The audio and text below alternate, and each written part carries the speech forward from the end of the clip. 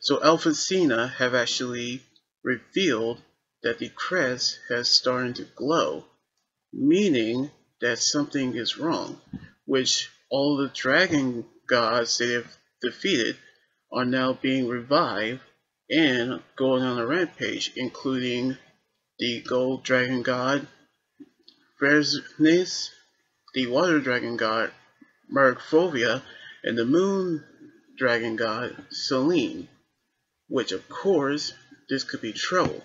So Team Natsu have actually assembled to actually fight them again, knowing how they will use their full powers.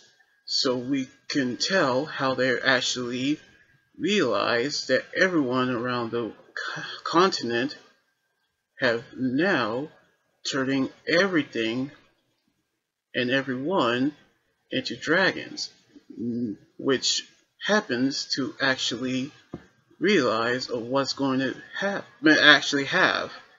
But they realize that the lacrimas are the key components to turning people into dragons, which they can reverse the process of destroying the lacrimas, which they realize that there are five of them and there are actually five enemies.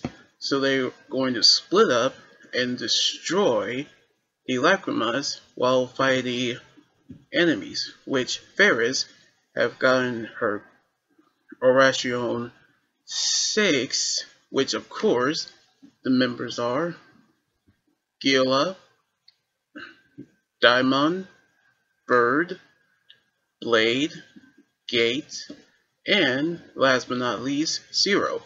Not the original Sate Zero, but the Zero who looks a lot different, by which they're all coming together, which they actually realize that they are actually have company knowing that Team Natsu is on their way to destroy the Lacrimas.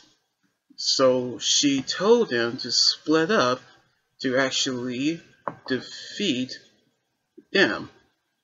Which Ursa, I mean, when Lucy had went to Elma to destroy the Lacrima to free Mercphobia, but a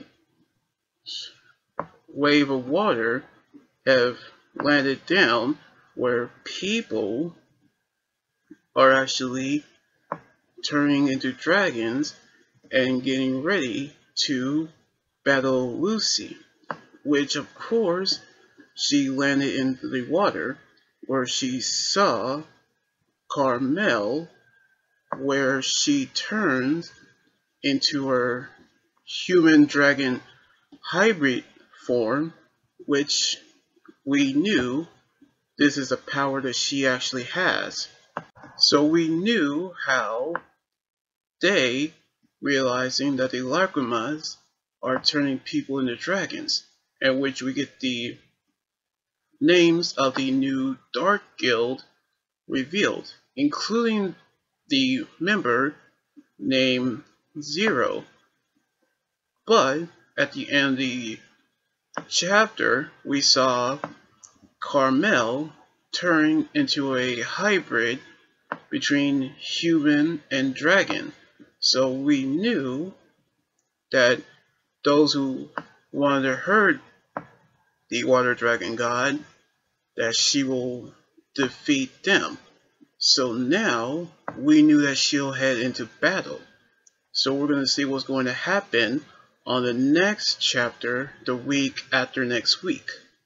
So anyway, like this video, subscribe for more, and comment what you think about the manga chapter. You guys can also follow me on Twitter, Instagram, Tumblr, and my Facebook page and Twitch. Until then, this is Anime Guy joining here saying signing out. Laters.